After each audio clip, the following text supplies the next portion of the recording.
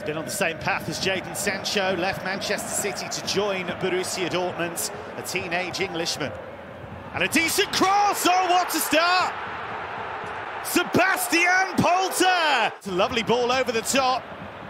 And the touch from Asano's taking him a bit wide. It was a gorgeous ball to pick him out. And a chance here! Oh, wow! What a finish! Can he defy Erling Haaland? No, he can't. Pushing and shoving. Haaland against Riemann again, and Haaland is the winner again. That's a nice ball to find Reus, Great cross, and he has got the hat trick in front of the yellow wall. Pantovic's cross. Oh, that's brilliantly brought down. What a goal!